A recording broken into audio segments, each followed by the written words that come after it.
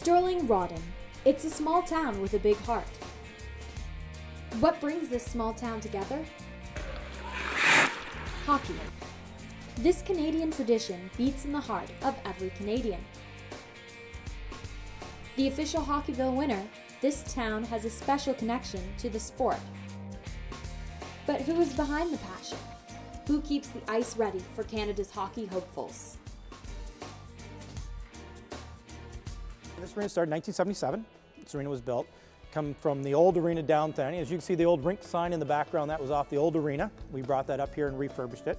Um, for the most part, you know, I say sometimes we're glorified janitors. We know a lot of it takes time.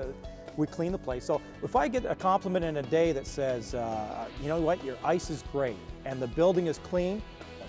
So that's what we do. We make sure that we've got great ice and make sure we got a clean building where the public can come into but feel like they want to be here. You know, it's it's a lot of kids doing. Uh, you know, they they're out here and they all want to be NHL hockey players or the next Dorothy Hamill or whatever. So uh, we try and make that environment as nice for them as possible.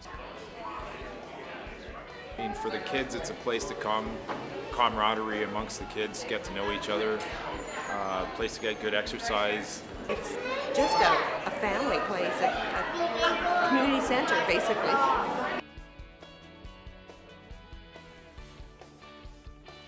Uh, I get here in the morning, check compressors, make sure that this place is still going to run for the next day, and then it's a matter of going through and making sure, doing my checks for the rest of it, as everything else is in, in shape and so on.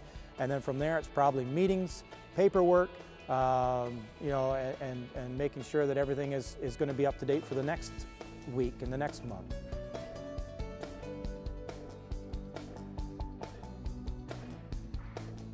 Richard is an integral part of the arena's functionality and every day he strives to honor Barry's memory.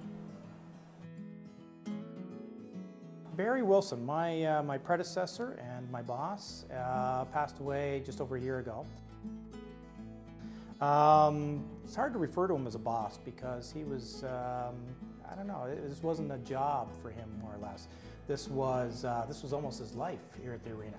Um, Barry had this unique uh, thing where he knew everybody that came through the arena. And, and I don't just mean everybody. I mean, he knew the kids, he knew them, he knew their brother or sister. Uh, maybe they were involved in hockey, maybe they weren't. Uh, he knew their families. Uh, Barry grew up, I guess, in this area, so I, part of that big part of why he knew everybody. It was amazing that he could remember everybody's name. Um, I always had the hardest time when I was, and he'd always know, you know, who was it and, and where they're from and, and uh, how old they were and all the rest of the stuff. So a pretty amazing feat considering all the thousands and thousands of people that come through here every year. Barry um, was such a big person because he kind of represented what the whole thing about Stirling was about, you know, that friendly hometown guy that just cared about everybody that came into the place. So um, I think that's why that's why everybody always seemed to love Barry so much is that they knew he cared and knew that he loved this place and, and, and cared about everybody that came through the door. So. The Stirling Rawdon Arena is a place where the community can get together. Not only to celebrate being Kraft Hockeyville 2012, but to celebrate everyone who makes this arena an amazing place.